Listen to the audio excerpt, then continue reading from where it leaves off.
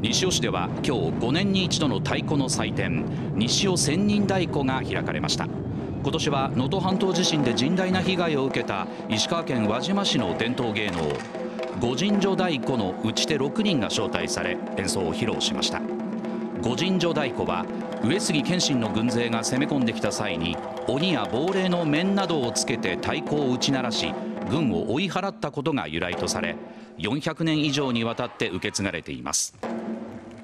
千人太鼓の終盤には輪島市をはじめ全国から集まった打ち手と西尾市民のおよそ1000人が被災地の復興を願って力強い演奏を披露し観客を楽しませました。